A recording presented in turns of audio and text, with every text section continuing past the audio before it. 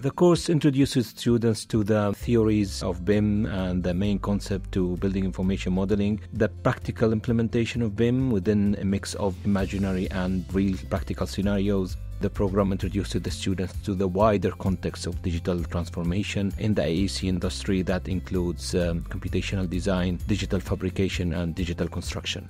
The main feature about this course is the very large network supporting the program, practitioners and technology providers and researchers that gives the program a subtle link with the practice. The program goes beyond BIM, not only focuses on the management and the standards of BIM, it also introduces students to a wide variety of digital construction methods such as parametric modeling, uh, 3D printing, virtual reality software and hardware like 3ds Max, artificial intelligence and machine learning.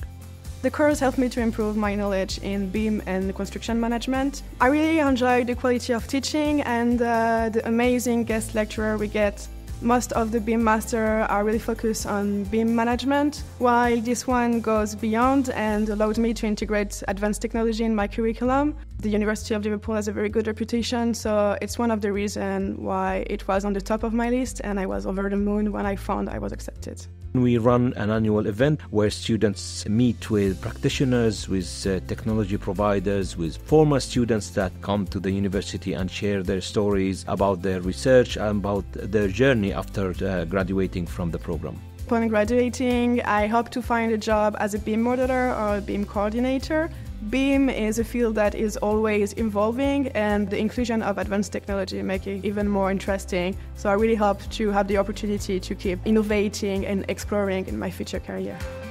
Over five years, the program uh, is growing quickly. I started with seven students and now we are exceeding 40 students. I can see the impact of the program. I can see how students are really doing great job uh, leading roles in their companies and how they are developing and how they are supporting each other. It's not only the what you learn, but the, the large cohort is really the students' future network.